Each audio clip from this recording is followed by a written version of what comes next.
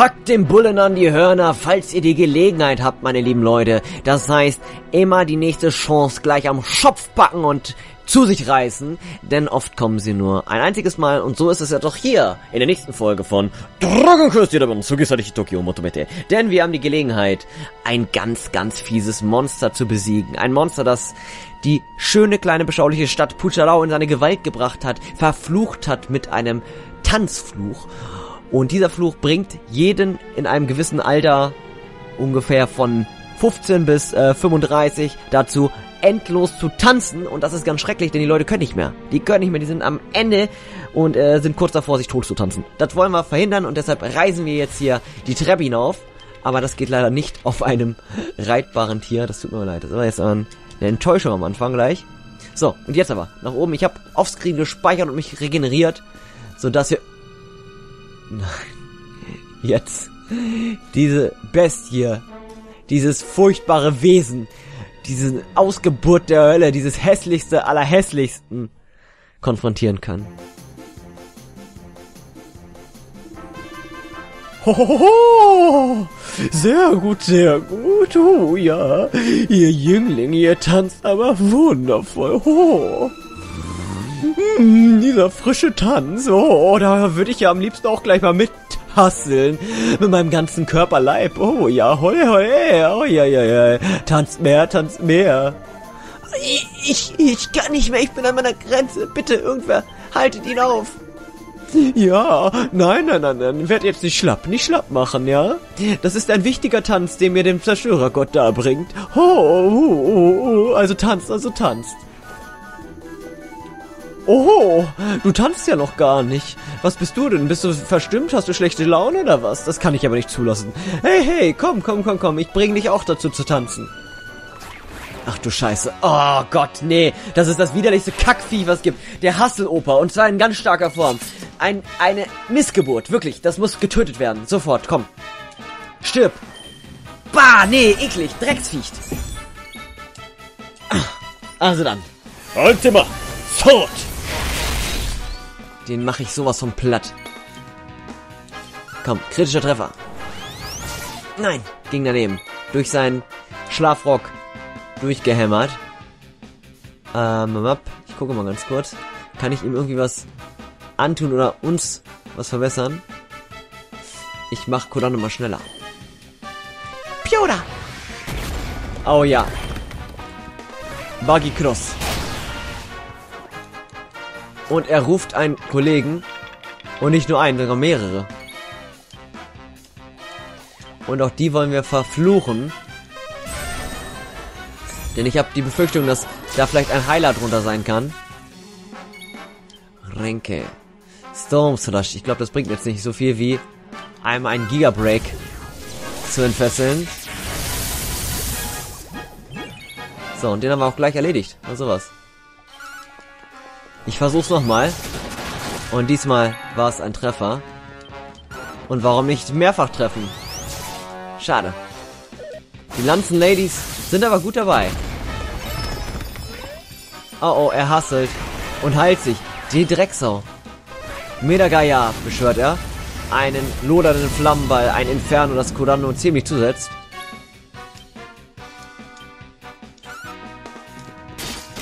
Jawohl. Sehr gut. Opa, wir haben noch nicht zu Ende gekämpft.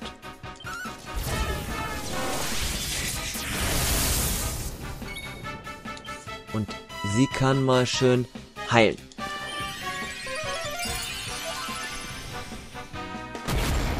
Jawohl.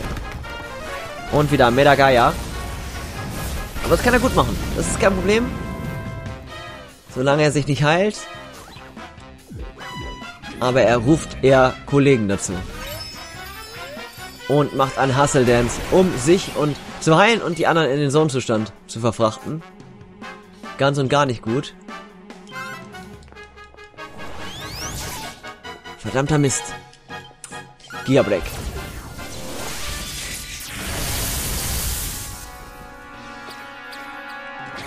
Und der heilt, der heilt den auch noch.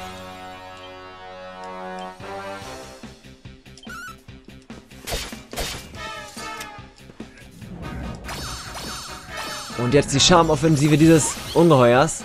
Und da ist jetzt unsere Heilerin verfallen. Das ist nicht gut. Bagi Cross.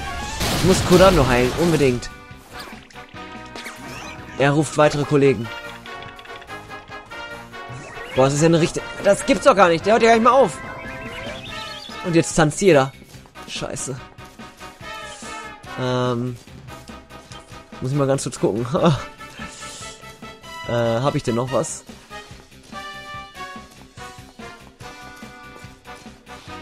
Dreißig heilen ist nicht wirklich gut, aber besser als gar nichts. Gut, Ando. Hör auf zu tanzen. Das ist ja, ist ja ein Albtraum. Vor allem, wenn unser Held Kurando tanzt.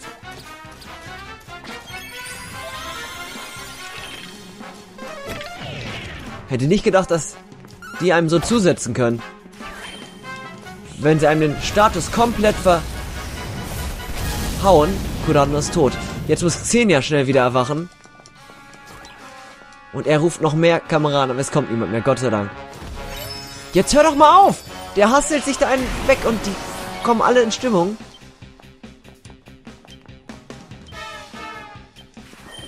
Der Opa muss schwinden. So, jetzt kann sie wieder. Gott sei Dank. Kann sie nicht, äh... Moment. Devil Mode, ja. Wäre eine Option. Ähm, aber ich würde gern die gute Xenia heilen.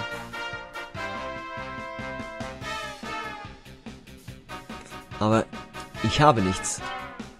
Devil Mode.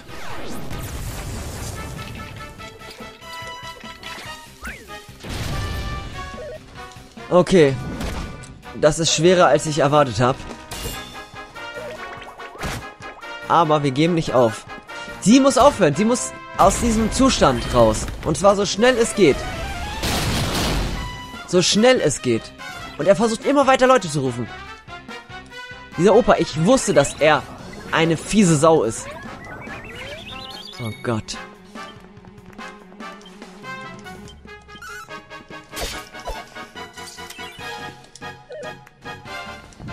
Okay, bitte, bitte, bitte, bitte. Hör auf zu tanzen!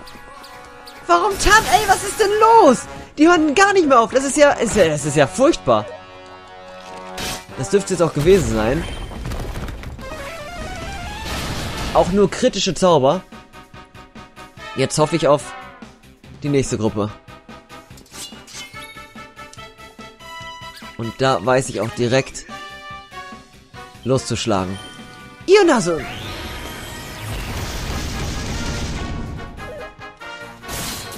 Der olle Greis muss sterben. Gucke gerade. Hasseldance glaube ich nicht so gut jetzt. Rosentyphoon. In der Hoffnung, dass vielleicht einer von denen mir verfällt. Oder zumindest stirbt. Dormoa.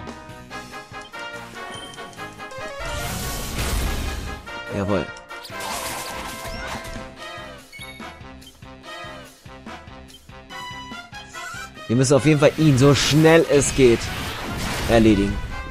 Das heißt, ihn primär anvisieren. Denn er ruft immer weiter Kollegen die mitmischen. Und dann sein Angriff, der gleich auch Romit einbindet. Und auch Veronika. Der weiß auch genau, wen er anzugreifen hat. Damit die schnell sterben. Der Drecksack. Dieser alle, olle Mistkreis. Hustle Ich kann das auch.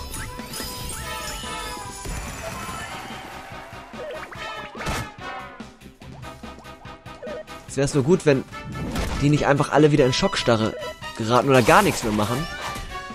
Verdammter Mist, ey.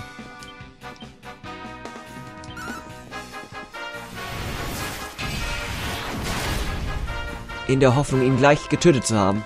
Er versucht wieder Kameraden zu rufen und es kommt auch jemand. Und jetzt es auch noch Greg. Ich glaube es nicht. Die müssen doch so ein wenig, zumindest ein bisschen resistent gegen diese verkackte Tanzfähigkeit sein oder nicht? Dance bringt mir nix. Bagima.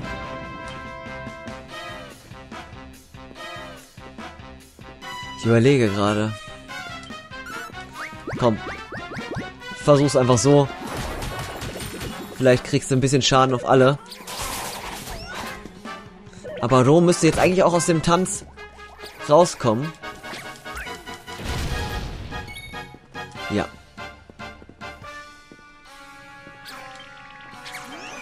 Also los. Hol Veronika zurück. Bitte.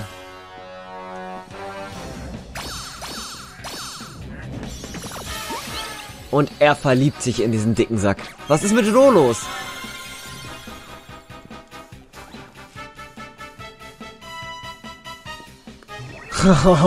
Und er tanzt wieder da hinten. Der Drecksack. Mit der Geier. Ja, er geht gezielt auf die, die schwach sind. Das ist in der Hinsicht ein ziemlich harter Kampf, muss man sagen. Den man nur mit einem Hustle Dance kontern kann. Und jetzt bitte. Veronika, einmal rankommen. Das wäre wirklich fantastisch, wäre das. Wenn du es einfach mal... Ich, ich komme ja nicht mal mehr zum Zuge. Die haben auch mehrere Angriffsrunden, ne? Viel zu viele Züge, die Gegner. Ionasun. In der Hoffnung, dass ich da mal einen erledige. Und er hat's geschafft, ja? Komm. Bitte. Erledige diesen alten Kreis. Jawohl, er ist tot. Gut. Puh. Meine Fresse. Das ist ein harter Kampf.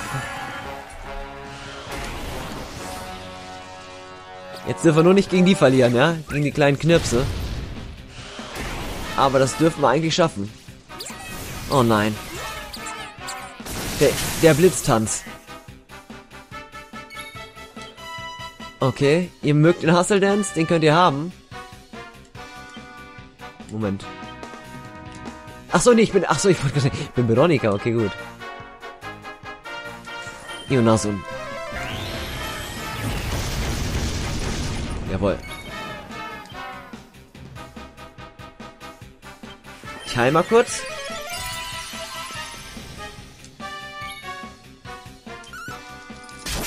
Da dürfte das doch eigentlich fast schon reichen, ne? Nochmal. Jetzt mit ganzer magischer Angriffskraft. Und ein paar Schlägen dürften wir es jetzt eigentlich schaffen. Tormoa! Jawohl. Und das war's endlich. Daneben geschlagen, aber egal, trotzdem. Das war wieder warten schwer. Hustle GG, der alte Drecksack. Und wir steigen gleich ein paar Level, zumindest die, die noch stehen. Drake. Nee, eigentlich wollte ich jetzt keine Skill Points verteilen, das machen wir nicht. Machen wir später. Und da sind die Gefolgsleute von Shidibia. Und er sagt, oh, Reisender, vielen Dank. Dank euch, die das Monster besiegt haben, können wir uns jetzt wieder frei bewegen. Und ja, wir wurden von diesem sondermachenden Monster in diese seltsame Kleidung gesteckt. Und er zwang uns zu tanzen. Hey, wäre ich noch ein wenig weiter am Tanzen gewesen, dann wäre ich wahrscheinlich vor Erschöpfung tot umgefallen. Vielen herzlichen Dank. Lasst uns jetzt aber erstmal wieder zurück ins Dorf gehen. Ja, das sehe ich genauso. Und, ähm, ja, man sieht, ich habe meinen Helden nicht im Team, aber das geht auch ohne, ne? Man kann auch ohne Held tatsächlich voranschreiten in dem Spiel. Ihr könnt also jederzeit auch mal den Kurano jetzt in dem Teil, also den Protagonisten rausnehmen und das Team mit anderen füllen. Das habe ich noch nie gemacht, weil ich irgendwie, weiß ich nicht. Ich bin immer so Kurano fixiert gewesen. Wollte den mal schnell hochleveln. Das geht natürlich auch so. Rein aus Gewohnheit. Hatte ich ihn immer dabei und ich glaube, ich wähle ihn aber auch wieder rein. Weil ich, irgendwie fehlt da was, wenn er nicht drin ist. So, zack. Äh, Martina mit rein, Ro kommt raus und Camus. Ich behalte erstmal die. Das geht zwar nicht so schnell voran mit den Vieren, aber sobald die alle im Zone-Zustand sind, hau ich was raus. So, Puchadao ist entflucht, sagen wir es mal so. Der Fluch ist gebrochen und wir können wieder zurückkehren. Und die sagt das, vielen Dank. Ich habe schon von den Leuten gehört, den Dorfbewohnern, die aus dem Bild zurückkehrten. Ihr habt das fiese Monster besiegt. Dank euch wurde der Tanzfluch von den Menschen gelöst und alle sind wieder wie früher. Vielen herzlichen Dank.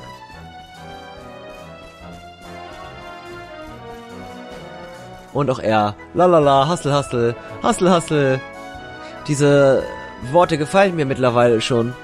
Ich benutze sie und mache ein neues Lied daraus. Ja, hör lieber aus. Das ist nicht die beste Idee. Zumindest äh, glaube ich, dass dann die Leute nicht sehr begeistert werden äh, sein werden aus seinem Dorf, wenn er hier weiter hasselt. Die sind glücklich, dass sie nicht mehr hasseln müssen. So, jedenfalls, liebe Leute, wir wollen zurückkehren und können gleich auch erstmal noch eine Runde schlafen, damit wir uns regenerieren nach dem harten Kampf. Aber erstmal wollen wir Dank einholen, ne? Ah, du bist es, du hast das Monster besiegt und uns gerettet, Reisender. Ähm, vielen herzlichen Dank, wir sind dir sehr dankbar. Du fragst dich, warum ich diese Klamotten trage. Irgendwie, ja, ich weiß nicht, dieser auffällige Stil gefällt mir irgendwie. Man kann sich auch gut drin bewegen und ich habe gedacht, ich behalte einfach an. Jetzt trägt jeder das hier, oder wie? Meine Fresse. Guck mal, die tanzen immer noch. Hustle dabei. Oh, Hustle, Hustle. keine Sorge, keine Sorge. Ich äh, komme einfach nicht von dem Tanz los. Mir gefällt das. Kacke, ey. Und auch sie tanzen. Was ist das denn? Oh, der Dorfvorsteher hat äh, meine tänzerischen Fähigkeiten anerkannt. Und wie du siehst, übe ich gerade das Tanzen. Und ja, ich werde jetzt mit meinem Tanz die Leute, neue Bewohner an, also äh, Bewohner nicht, sondern Gäste anlocken. Touristen. Und ja, also ich glaube, äh, das ist, das steht mir ganz gut. Ähm, ich weiß ja natürlich nicht, ob das was bringt, aber ähm, ja, die äh, Leute in der Stadt, die werden sich darüber bestimmt freuen. Also dann Hassel, Hassel, Hassel. Oh, willkommen. Du hast den äh, Tanzfluch gebrochen. Hoho. Dank dir wurde mein Dorf gerettet. Es hat wieder was äh, mit dem verfluchten Bild zu tun gehabt, nicht wahr? Aber es ist ein, äh, gibt ein neues, ähm, wie, wie heißt es, ein einen neuen äh, Touristenspot hier, eine neue Attraktion, ja, und zwar ähm, der tolle Paradenumzug mit dem sonderbaren Tanz. So nenne ich das und ja, das ist durch den Fluch des Monsters haben wir das gelernt. Und jetzt wollen wir in Erinnerung daran eine Parade durchführen. Und das plant unser Bewohner Bonsack.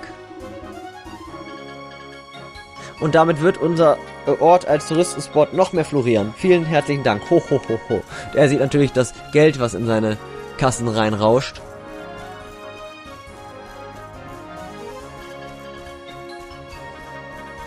Wo ist denn Bonzack?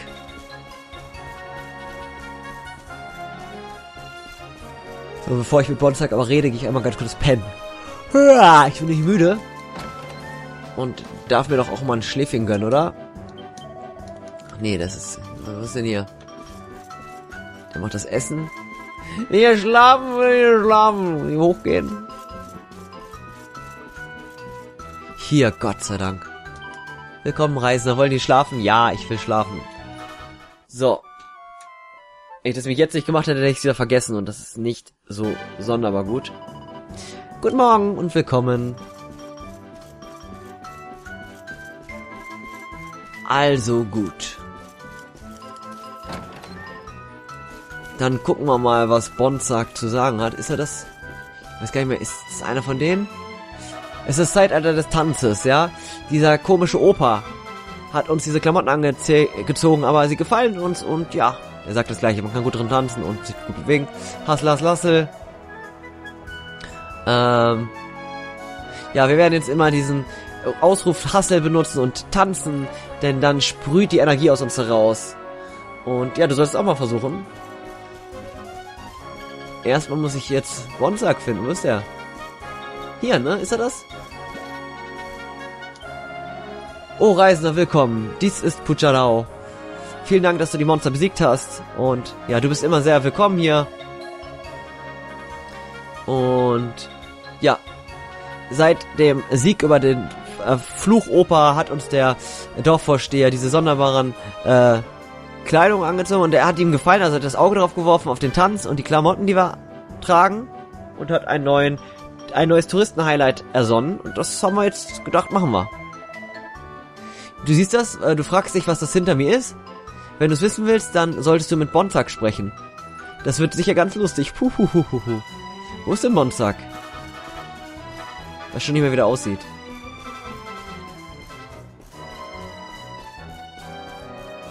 Bonsack! Ah, hier, guck mal, der weint. Ah. Ich habe so schlimme Erinnerungen. Ich habe irgendwie immer erzählt, dass ich einen Hustle Dance mache und so, aber jetzt wird alles hoffentlich besser. Oh Reisender, du hast das Dorf gerettet. Vielen Dank. Äh, egal welchen Dank ich auch ausspreche, das reicht schon gar nicht mehr. Ähm, jetzt kann sich mein Mann wieder frei bewegen und er weint seitdem nur noch. Er übertreibt aber wahrscheinlich noch ein bisschen. Why, why? Er freut sich. Ah, Onkelchen. Ähm, du hast Mutter und Vater gerettet. Und ja, ich dachte schon, das war, sie waren am Ende. Was bist du für einer? Ach, der labert nur Scheiße. Wo ist Bonsack? Don, don, don, don, don. Äh, ja. Ich lerne jetzt hier als kleines, äh, ähm, Werkzeug hier jetzt die Trommel und dann werde ich hier Glückstrommeln und don, don, don, don, don Glück bescheren. Aha, ein Tanz und Parade. Das ist also äh, ein Weg, um neue Touristen hier äh, anzulocken. Und ich glaube, das funktioniert. Ich rieche jetzt schon das Geld, was hier in unsere Kassen fließt. Alles kapitalistische Schweine hier. Was ist das denn? Ist Bonzak. Vielen Dank, die sind also sehr glücklich. Du hast das Monster besiegt und äh, die Leute sind zurück, habe ich gehört. Vielen Dank. Und ja,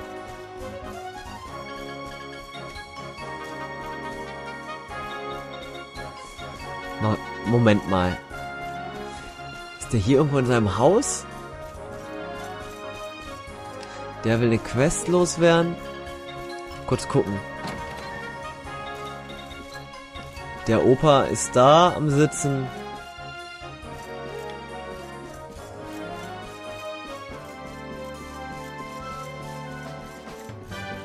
Wo ist Bonsack?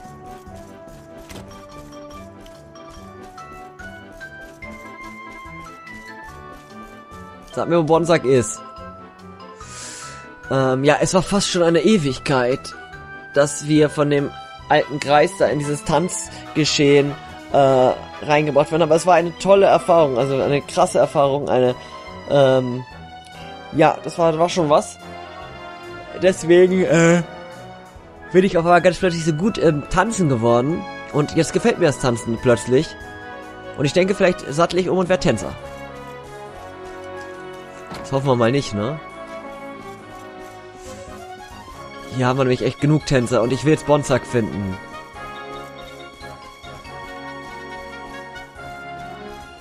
Bin bestimmt schon 20 Mal an ihm vorbeigelaufen. Der muss hier unten sein.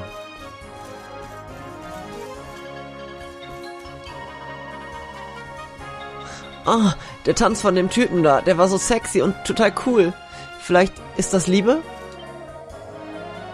Äh, sie fand, hat gesagt, mein Tanz war cool und hat ihr gefallen. Ich habe noch nie vorher getanzt gehabt, aber vielleicht habe ich ja tatsächlich Tanzfertigkeiten.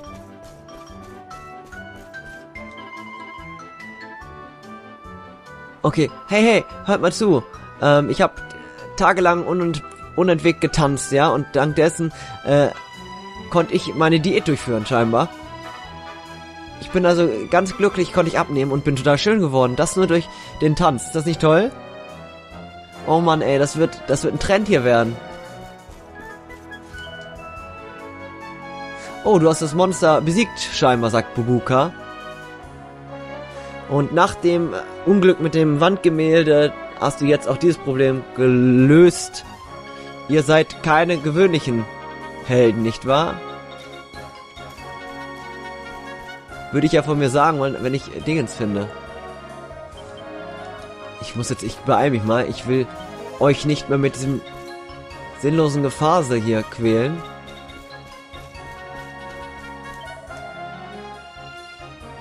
Ah, du hast nicht nur den Fluch des Gemäldes, sondern auch den Tanzfluch.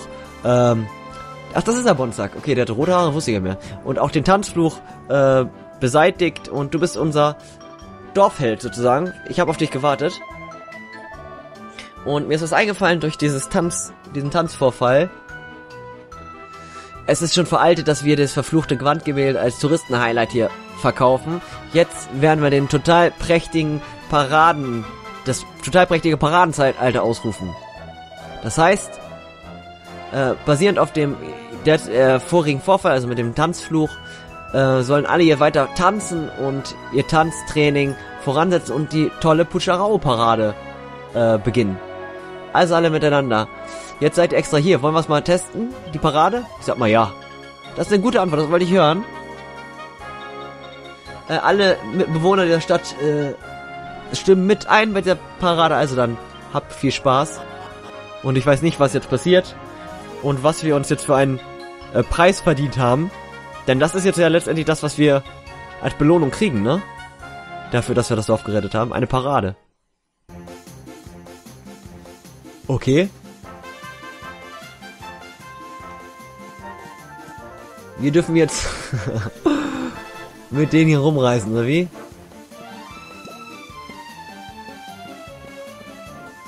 Das Dorf hat sich versammelt. Und ganz obendrein natürlich Shirbia. Und die folgen mir jetzt. Okay, also haben wir uns verdient, dass wir jetzt immer diese Parade veranstalten dürfen. Ja fantastisch. Bringt uns das auch irgendwas? Können wir da Amos schießen und äh, komische Gemüsesorten vernichten. Ist natürlich jetzt die Frage, ob wir hier irgendwie einen Erfolg sehen. Darin, dass wir Golems besiegen und komische Gegner. Die viel zu schwach sind. Na, das ist ja nicht wirklich das, was ich mir erhofft hatte.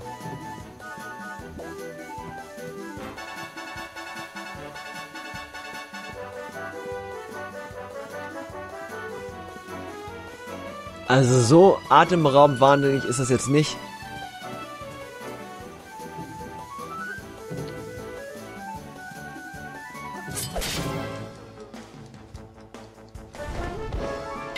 Ja gut.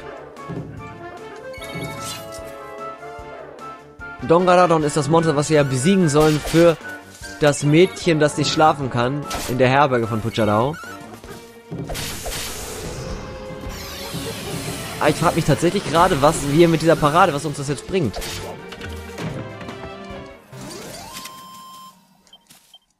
Weil Erfahrungspunkte regnen uns hier jetzt nicht wirklich.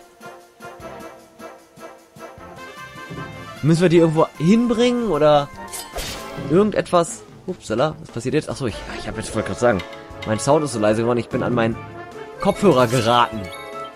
Meine Fresse. Hier brauchen wir mal den Renke, um die Quest zu erfüllen, ne? Machen wir es erstmal so einfach. Die kriegen wir nämlich längst auch so klein. Also gut.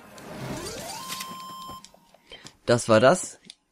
Hier gibt es auch nicht allzu viele Erfahrungspunkte. Ich hätte wenigstens gehofft, dass man hier was Besonderes bekämpfen kann, aber wir können tatsächlich nur altbewährtes niederknüppeln. Da hinten ist noch eine Kiste, meine Fresse.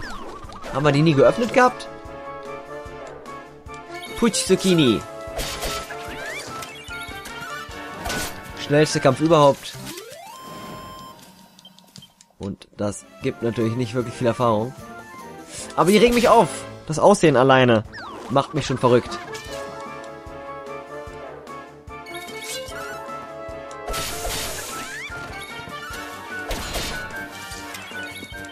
Also, die Parade ist nicht so das, was ich mir erhofft hatte als Belohnung.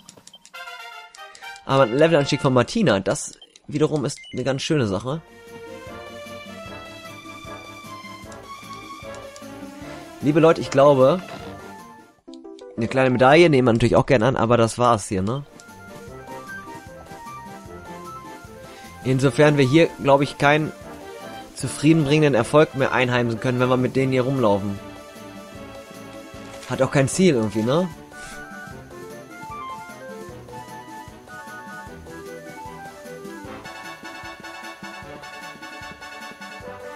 Passiert hier irgendwas? Können wir irgendwas triggern? Noch ein Event?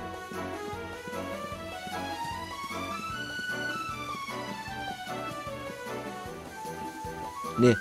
Es tut sich nichts, also gehe ich wieder zurück und frage mal Bonsack, ob das sein Ernst war, dass er mich damit belohnen möchte. Weil sehr glücklich macht mich das nicht. das ist ja wohl augenscheinlich.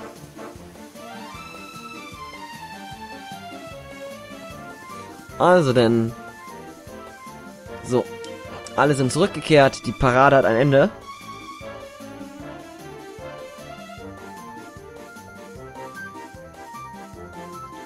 Wir laden nochmal. Nochmal ganz kräftig, deftig, wird sich fein.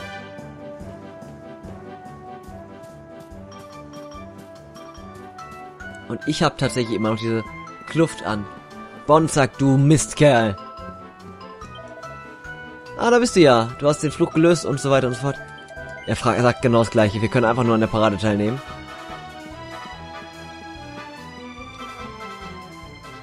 Wisst ihr, was ich jetzt mache?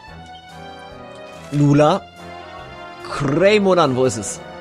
Unsere nächste Station. Puchalau ist durch. Ähm, und als nächstes steht der kalte Norden in unserem Fokus. Dort wird uns unsere Reise weiterführen, aber ihr wisst ganz genau, dass das nicht jetzt der Fall sein wird, sondern erst in der nächsten Folge. Und dann haben wir auch bald alles zusammen, sodass unser Dorf gerettet ist und dann bleibt eigentlich schlichtweg nur noch einzutun, das Labyrinth von Nelson zu erledigen und dann mit dieser vollen Stärke uns auf den Weg zu machen, den Zerstörergott zu besiegen. So viel, aber erst später. Ich gehe jetzt mal ganz kurz hier hin. Und äh, mach mal kurz einen Schwenker in die Kirche. Aber ich glaube, in diesem gottlosen Outfit darf ich nicht in die Kirche rein. Deshalb gehe ich einfach mal hier rauf. Und zieh Papas Rüstung an. Zack. Da sehen wir doch wieder ganz stattlich aus. Jetzt gehen wir mal hier rein und ich sage einfach mal Danke fürs Zugucken. Bis zum nächsten Mal, bleibt gesund und munter und auf Wiedersehen.